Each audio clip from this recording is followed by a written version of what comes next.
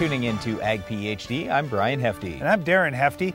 You know, we're out by a cornfield here, but I'm still thinking about next year. This field is going to be soybeans, and one of the things that we'll be watching out for is soybean cyst nematode. We'll talk about what to look for in your fields and what you can do to manage soybean cyst nematode on your farm. We'll also discuss what you do at this time of the year in terms of pulling soil samples. There's a lot of wheat that's come off now. A lot of acres can be sampled, and whether you've got wheat acres or you're thinking about sampling after corn or soybeans this fall, you need to know how to pull good soil samples. We're going to talk about that today. We have a weed of the week that is both difficult to control and also an indicator of other problems going on in your soil. We'll explain more later in the show, but first here's this week's Farm Basics.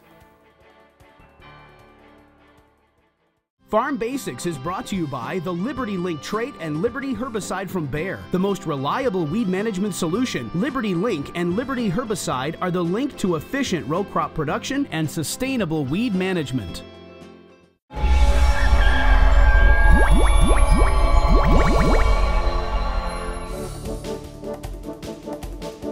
During our Farm Basics time today, we're going to talk a little bit about how a farmer can preserve the hay that he's just baled. You know, one of the stories that I've got growing up as a kid, my, uh, my cousins lived a little bit further west into South Dakota than we were and further north. And we were going up to see my cousins. And I remember seeing these piles of hay sitting out in fields and pastures and so forth that had been there for several years. And some of the bales didn't look like they were in the best condition. I mean, not pristine like they would be immediately after they were baled. And I asked my dad, I said, why are there still piles of hay here? And he said, you know, Darren, he goes, what happens with guys as you move further west, they have a lot of dry years. And so when they have a good wet year, they'll bale a lot of hay. The ground will be very productive, whether it's grassland or alfalfa, they'll get more bales than they can possibly use that year. So they'll save them up for multiple years knowing that hey when we get to a dry year we won't have enough grass for the for the cattle to graze on. We've got to use those old bales up for feed. And i got thinking about that. Wow what do we do to preserve those bales? How do bales keep for more than one year? So every time farmers are baling, they're thinking about the long term of, I want to make sure I don't have spoilage so I have good feed. And also I want to be able to keep those bales as long as possible because if I don't need them this year, I want to make sure they're still good for next year too. Well, the main thing here is really moisture. So farmers are trying to keep the moisture off the hay. Whether it's grass hay, alfalfa hay, whatever type of hay it is, it doesn't make any difference. If it gets a whole bunch of moisture on it, there's just a much, much, much greater chance that it's going to spoil. Well, this isn't a big issue as you go to some of these western areas like Darren mentioned. This is further west in South Dakota where they get a lot less rainfall than what we do. They're not as concerned. But as you go east in the country and they get lots of rainfall, it's a really big deal. So there are a number of different methods that farmers will use to preserve the hay. And obviously keeping it inside would be ideal, but it's expensive to put hay inside a shed all the time. All right, well, there are different ways that you can bale up hay, whether it's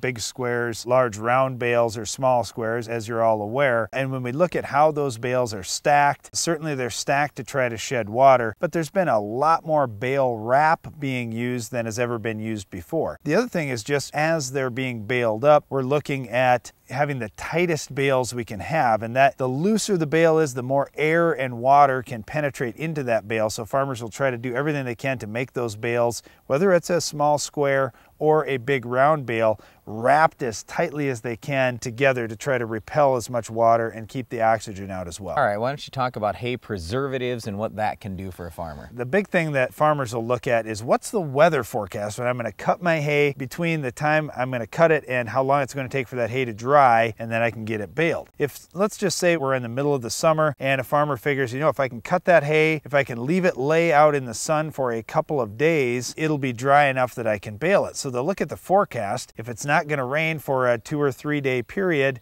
they'll start cutting hay like crazy and then try to get it baled up. Well, on the, on the chance that, you know, the weather forecast changed, now it looks like it might rain. Farmers will say, ooh, I want to try and get that hay, but it's not quite ready. So with the baling equipment, they can try to crimp or, or bend some of that hay a little bit to squish out some of that moisture to help that hay cure up a little more quickly. Also, they can use some acid type preservatives or bacterial type preservatives. So even if the hay is a little bit more wet, they can reduce any potential spoilage that they may have. How about safety to the livestock with the preservatives? Some non-farmers will ask that and be very concerned concerned, oh, you're going to spray something on there. That can't be good. There's really no safety issue at all. When you look at uh, what, uh, say, a, a, cow is going to eat, uh, when we're putting corn silage in a silo, uh, when we're putting a hay preservative on, uh, we aren't talking about anything that's foreign uh, to what that cow's diet is going to be. In fact, when you look at corn stalks, a lot of times you'll have cattle grazing corn stalks in the fall. They prefer the ones that have a little bit of rot to them. They're a little softer, a little easier to chew. Now, when I'm looking at the human food supply, I don't want something that's rotting. Yeah, I but you make this case, so fresh. then why would a farmer put preservative on at all? Well, they want that to be fresh and healthy for their livestock, and they don't want to have spoilage because they may keep it for a long term. For cattle, if they're out chewing on stalks, hey, that's today's meal, and a little bit of rot is no big deal. But if I have hay that I want to keep for two or three years, I certainly can't have any rot. The other thing that can happen when you get some rot going, if let's just say you put the hay into a hay shed, now you could have a fire if some heat gets going in there. That would be a really bad thing too. Well, once again, it's very important for farmers to do everything they can to preserve hay for the short term and especially for the long term. The other thing is that's really important for farmers is to control weeds, whether it's in a hay field or anywhere else on their farm. If you have this week's weed of the week, you want to get it under control. Can you identify this week's weed?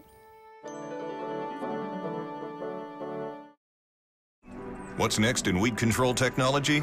Roundup Ready 2 Extend soybeans will provide tolerance to dicamba and glyphosate and will be built on the Genuity Roundup Ready 2 Yield tray. See them in action at extendfollowafield.com. I will take action against herbicide-resistant weeds. I will know my weeds, and I will stop them before they go to seed. I will do whatever it takes to give my crops the upper hand. And I will use multiple herbicide sites of action because every action counts. I will take action, this time for all time. The world of farming is changing. Titan Machinery and Case IH are here to make sure you're ready. The demands on agriculture keep growing. The challenge for producers is to continue to keep pace. To be successful, you'll need equipment that can get the most out of every inch of land, innovations that help you work faster, and advice from people who know your field as well as they know your equipment. Don't get left behind. Be ready with Case IH and Titan Machinery. Better solutions. Looking to maximize yield? Quick Roots is a microbial seed inoculant that allows the plant root to explore a greater volume of soil, the key to higher yields. Quick Roots continues to generate yield response on corn, soybeans, wheat, and more. Quick Roots is applied to the seeds so the live microorganisms go right to work, enhancing seedling vigor, increasing the uptake of certain nutrients, including NPK, and expanding root volume. Maximize yield on your farm this season. Call TJ Technologies or your local dealer and get your Quick Roots today. A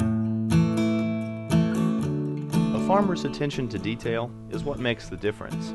You take the time for service management because you know how vital it is to your operation. You service your field like everything else because soil sampling makes all the difference and gets the results you want. Download the app Soil Test Pro and start grid sampling today. Keep your farm growing strong. The more you test, the more you know. A proven herbicide for decades, dicamba can provide burn down residual control of tough and resistant weeds for up to 14 days. That's another reason why farmers will use dicamba for years to come. Brought to you by Roundup Ready Plus Weed Management Solutions. Soybean cyst nematode may be the worst yield robber in soybeans in the United States. You know, we've been dealing with some of these problems that there's no tremendous answer for, whether it's Goss's wilt in corn or soybean cyst nematode in soybeans. We just can't completely eliminate the problem. Right. However, there are some tools that we can use to manage soybean cyst nematode. That's what we'd like to outline today. Okay, here's the number one tool. Don't plant soybeans. Rotate away from soybeans. Oh, that's a- that's a Well, good I'm just saying, if you go two years away from soybeans, that dramatically lowers that population of soybean cyst nematode. And even just a one year switch. If you're going soybeans after soybeans after soybeans, obviously you're going to have a lot more problem because you've got a host out there. All right. Well, if you are going to plant soybeans, the most obvious thing is well, plant the soybean cyst nematode resistant varieties. However, when we look at these resistant varieties, they're resistant to some strains of soybean cyst nematode, but there are several strains out there, and most farmers don't really have a good handle on which strain they have. We'll talk about the strains real quick. There isn't really much to talk about, Brian. What we're looking at is the resistance sources that we have in our soybean varieties, and most of the soybean varieties that are quote unquote resistant to soybean cyst nematode all come from the Fayette gene, the PI8788 gene. And, you know, I don't know hardly any farmers across the country that even know that, number one. Uh, number two, you say, well, okay, if we're all taking these resistant varieties from the same cross, why don't we take a different cross? Take a different source of resistance, like Peking, for example. And you'll see some different seed companies almost every year. They'll come out with some big push. Hey, we've got this different source of nematode resistance. We've got a Peking variety, and then that Peking variety yields five bushel less than everything else. And even uh, I know at Iowa State, I was at some training there just a couple of years ago, and we were talking about this that well, why don't we plant these Peking King varieties. So they found fields that had nematodes that should be controlled by these Peking varieties. So they planted the Peking, planted the Fayette varieties in the same field. Guess which yielded more? It wasn't the Peking. And that's why the seed companies have not been coming with more Peking sources of resistance. They just haven't found any that really yield well. So it doesn't really matter what strain you have out there. We've only got one decent source of resistance that's still in germplasm that can yield. All right, so here's the other big thing you need to do if you've got soybean cyst nematodes in your area and especially on your farm. Just do everything else to raise a good healthy crop. In other words, if all you have for a stress is SCN, it's not nearly as big an issue as if you also have poor drainage or high pH or weed problems or bug problems or disease problems or lack of fertility. Solve all those problems first. We see the most issue in high pH soils. Well, why do you have high pH soils? In almost all cases, it's poor drainage. Get more tile out there. In a lot of cases, we see this in Iowa and Minnesota, and guys say, well, I already have tile every 50 or 70 feet. Yeah, but you have some of the best soil in the world. You need tile every 20 or 30 feet in some cases on this really good heavy ground, and you could be raising 80 bushel soybeans. But until you fix that drainage problem, you're not going to fix the pH problem, which means your cyst nematode problem is going to seem like, oh my goodness, it's costing me 30 bushels. No, the cyst nematode's probably only costing you 10. It's all these other factors that are costing you the extra 20. You know, the other thing that many farmers across the country are turning to is seed treatment options for soybean cyst nematode. And while they do look promising, especially in small plots where we know we've got nematodes and we're comparing with that treatment versus where we don't have it, the problem with soybean seed treatments is we've got to put it on the whole field, even though nematodes may just be in pockets of the field. So the first one that really came out was Poncho Votivo. That definitely does show an advantage. It's not the yeah, Poncho has nothing to do with it. It's the Votivo. It's it's the Votivo portion, and that kind of repels nematodes, and it's a biological, and that's all good. But it's not this huge increase in yield that guys are really looking for. And the cost was high enough that the return on investment was not great unless you knew you had a big problem and had a stressful year too. Now we've got a new one, Clariva Complete this year that's come out and it'll be interesting this fall to see what kind of yield data there yeah. is when we get out on farms. All right, so again, what you can do, do everything to raise a great crop, rotate away from soybeans, use resistant varieties. But what we're all hoping for is two things to come on the market at some point. It's probably gonna be years though. One is a product that will will actually kill all nematodes out in your field. You spray it out there, we get rid of all the nematodes. There are many companies working on that. Nobody has anything great to this point. The other thing we'd love to see is a biotech trait that doesn't have yield drag, but does kill all the nematodes, not just repel them, but actually kill them. That also is in the works, but it's going to be a lot of years, in my opinion, before we see that on the market. So again, the best thing you can do right now, do everything else to manage your crop well. Well, same may be true for our weed of the week. While you may not be able to kill this weed very easily, we certainly can manage other things out there to slow it down or perhaps eliminate it. We'll explain coming up in our weed of the week segment later in the show. Being a farmer means securing your land and livelihood for the future. Harvest Solutions from Capello USA have the grit to get you there. Our product lines for corn, sunflowers, and forage are designed for efficiency and longevity, preventing harvest loss while minimizing maintenance and downtime. To do everything you can to advance your farmland to the next generation, call us at 855 Capello or visit us at capellousa.com. Capello USA, Italian craftsmanship, American grit. We know that the future is liquid. That's why Agro-Culture Liquid Fertilizers corporate sales force is the best trained, best equipped in the industry. Because our communications, our relationships, our ethics are as strong and as innovative as the products we design. That's why our customers trust us. Agro-Culture Liquid Fertilizers, helping you grow the future. Experience matters in farming, and when it comes to efficient power, no one has more experience than Case IH. Our industry-leading SCR engine technology has powered over 35,000 pieces of equipment and has over 17 million operating hours in North America alone. It was the right solution from the start, and it's proving itself right again as our new generation of Tier 4B equipment takes to the field. Proven power, proven efficiency, proven in the field. Case IH. Be ready. Get the most from the genetic potential in your crops, reduce plant stress, and increase yield. Bioforge upregulates key genes to keep roots growing and reduce ethylene for improved plant stress tolerance. Bioforge mixes well with other products for easy application with every pass through the field. Bioforge, progressive growers' choice to improve root growth, reduce crop stress, and increase yield. Make every growing day count with Bioforge from Stoller, USA.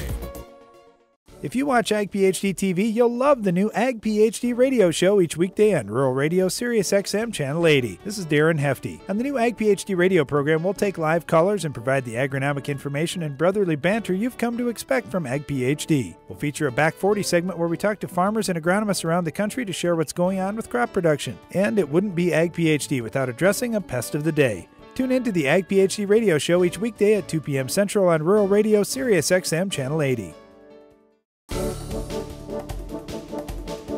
One of the most important things you can do if you want more yield and more profit next year is to pull good soil samples this summer or this fall. You know, when we talk about pulling soil samples, a lot of farmers that I talk to across the country say, well, I'm going to have to get my fertilizer dealer to come out and pull some samples. And I just think about this, you know, just objectively think about it. Uh, if you have your fertilizer dealer who's going to say, I'm going to pull the sample, that's going to tell me how much fertilizer, how much of my product you need to buy to get your field in shape. It just seems like there's a little bit of a conflict of interest there. And if I was so, a unscrupulous fertilizer dealer, I may go to a part of the field that, you know, looks like it's not raising a very good crop and uh, find the lowest fertility value that I could find. So when I pull that sample, you have to buy more of my product. And you know, in my mind, that's how it works. Now I realize most fertilizer dealers are pretty honest across the country, but but still, it just seems like there's that little window there. Or the other side you could look at is what if they don't really know what they're doing? They don't really know my field as well as I do. How do they know where to pull these samples at?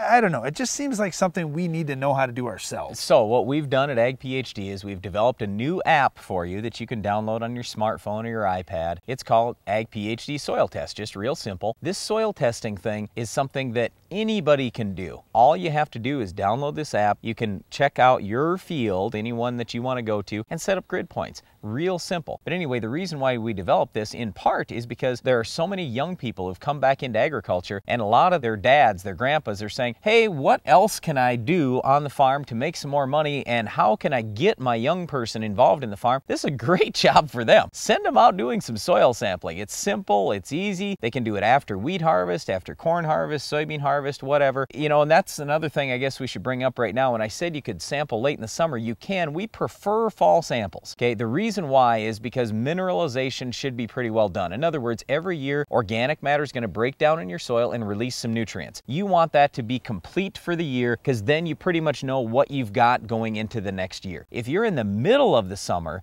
then there could still be some more nutrients that are actually coming available and are going to be ready to go for next year's crop. So in other words, in some cases, you may over apply fertilizer when you sample early. But the big thing is we just want you to be consistent from year to year. If you sample September 1 every year right after your wheat harvest, then sample September 1 every single year, not August 1 some years, October 1 other years, spring other years. Try to be consistent with your sample time. You know, if you're just getting started with this, I would say, all right, let's look at a corn and soybean rotation. Maybe you say, you know what, I'm just getting started. I've got quite a few acres. I'm just going to work on every fourth year. So I'll do a Yeah, fourth of my ground each year. That would be an okay way to get started. If you find some problem fields where, wow, something's really out of whack, I'm going to be putting on a lot of lime or making a lot of adjustments Right. in this field, you probably want to start sampling that field every year or at least every other year just to see if your management tactics that you're using are starting to make an impact. Yeah, if nothing else, I'd take at least one field on my farm and I'd sample that every year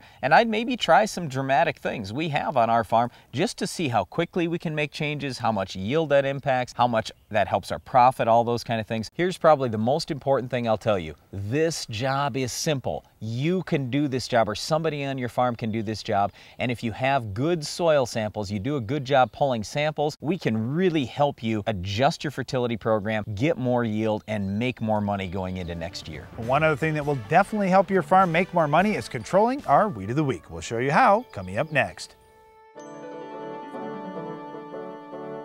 Your time is valuable. That's why you need a Hagie STS application system. Hagie STS products are designed for precision and efficiency, allowing you to make applications all season long with just one machine. Contact your Hagie rep today. Our weed of the week is cattails, and if you see cattails, that tells you one thing, you've got too much water in that area of your field. Well, you definitely can improve your uh, uh, cattail situation by improving the drainage through those areas. Now, a well, lot of yeah, times but, we'll, but before we get to that though, Darren, we got to say, hey, if this is in a true wetland situation, it's a pond, we're not suggesting that you drain your ponds or drain your wetlands. But if it's in a field situation, that's a different deal. That's kind of what I was getting at here is you look at in a field situation, cattails can pop up at about any time during a wet year. So sometimes guys will say, well, I've got a few cattails on the side of a hill. They've never been there before. I don't know how that happened. How do I control them? Hey, this is one thing. Yeah, we got some herbicide solutions, but maybe you do have some drainage issues where you say, gosh, there's a little roll through that hill. If we put some drain tile in there, that's regular farm ground. It's not a wetland. That would be a good long-term fix. The problem with controlling cattails, number one, we don't have a lot of herbicides that will do it. And number two, you're talking about very waxy leaves. They're not going to absorb a lot of pesticide. So you want to take any pesticide that is labeled, let's take Roundup for example, and you want to use the highest labeled rate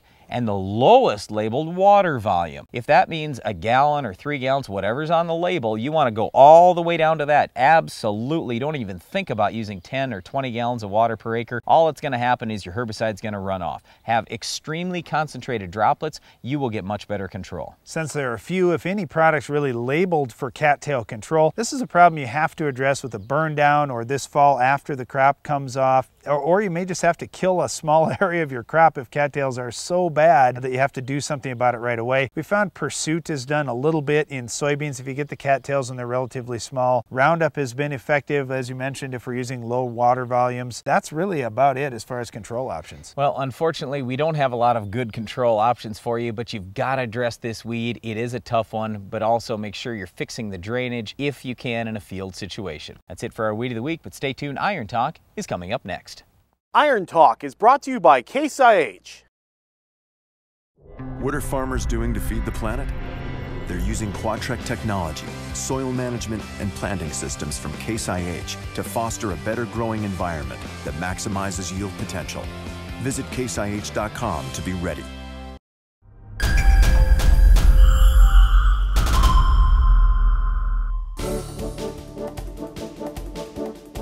Today's Iron Talk, we'll discuss the cooling system in your tractor. While it's getting hot outside, it doesn't have to heat up in the comfort of your tractor cab. With a few simple maintenance tips and a realistic outlook, you'll have no trouble keeping cool this summer. First of all, here's what you should expect from the air conditioning unit in your tractor. In most tractors, the air conditioning system is capable of cooling up to 30 degrees Fahrenheit off the ambient air temperature. If a particular day has highs in the 80s, no problem. You can cool your cab down into the 50s if you'd like. However, these days where the air temperature rises into the upper 90s or even 100 degrees, you need to consider your cooling system's capabilities before calling the service shop. Temperatures in the 70s may be all you can expect inside your cab. If your cooling system isn't even achieving that, then you can turn to maintenance items that may improve performance. The one thing I would look at is the air conditioner's condenser. Watch for bent or dirty fins. Depending on the make and model of the tractor that you're working on, inspecting the condenser may be a simple job. If cleaning is necessary, use an air compressor rather than a power washer. High pressure water spray can easily bend fins, which in turn adds to more problems. Also, water can build up, leading to potential corrosion issues as well. There are obviously many more potential problems that could lead to poor cooling with your air conditioner. Just keep in mind that your air conditioner can only take about 30 degrees off the ambient air temperature, and if you have problems, check the things that you can, like the condenser, and then call your local equipment dealer for more tips on keeping your tractor cab cool this summer. That's all for this week's Iron Talk, and now back to the show. Wake up, breakfast is served. Your roots crave P. Most of your applied P gets tied up in the soil, a natural phenomenon known as phosphorus fixation. Fix the problem with a Avail Phosphorus Fertilizer Enhancer. A Avail makes more P available to your roots, here, here, and here. Increasing P availability can lead to increased P uptake in the plant. That's more P, more P, and more P. More phosphorus for your crop can mean more results in your bin. An average of 9.6 bushels per acre of corn. Breakfast is served. Supercharge your P with Avail. The world of farming is changing. Titan Machinery and Case IH are here to make sure you're ready. The demands on agriculture keep growing. The challenge for producers is to continue to keep pace. To be successful, you'll need equipment that can get the most out of every inch of land, innovations that help you work faster, and advice from people who know your field as well as they know your equipment. Don't get left behind. Be ready with Case IH and Titan Machinery. Better solutions. I will take action against herbicide resistant weeds. I will know my weeds, and I will stop them before they go to seed.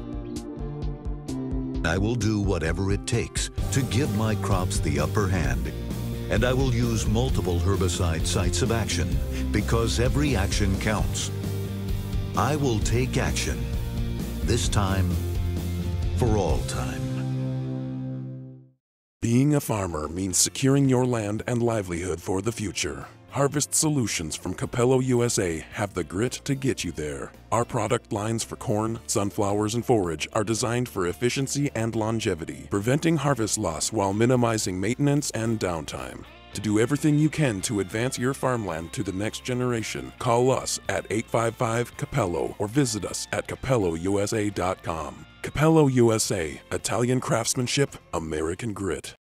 Dirty work pays. That is if your dirty work includes a Soil Max Gold Digger tile plow. Soil Max tile plows feature zero deflection technology. With the only tile plow factory paired with Ag Leader's IntelliSlope control system, you eliminate the need for grade calculations and lasers. So make your next investment in a Soil Max Gold Digger. Better yield, longer planting and harvest windows, better water management is all yours with Soil Max. Visit soilmax.com. Closed captioning for Ag PhD is sponsored by Norwood Sales. The all-new S-Cube commercial tender is the only tender on the market with poly tanks, giving you the capability to haul seed, fertilizer, water, or liquid fertilizer. Each cube can hold 300 units of seed, 2,000 gallons of liquid, or 300 cubic feet of fertilizer. Options include full functioning wireless remote, stainless steel conveyors, and self-contained hydraulics. Get yours today at Norwood Sales. Well, we hope you've enjoyed our television show today, but we invite you to also listen to Ag PhD Radio. That's every weekday at 2 p.m. Central on Sirius XM Channel 80. Every day we take your live phone calls and answer your agronomic questions. Well, we hope you'll tune in to next week's Ag PhD television program as well, where we'll have another Weed of the Week, Farm Basics Iron Talk, and a whole lot more. I'm Darren Hefty. And I'm Brian Hefty. Thanks for watching Ag PhD. No one cares more for the environment than family farmers who plan to pass their land down to their children. These same farmers are working to double yields over the next 15 to 20 years to feed the growing world. To learn how they plan to do it, visit the Responsible Nutrient Management Foundation at rnmf.org.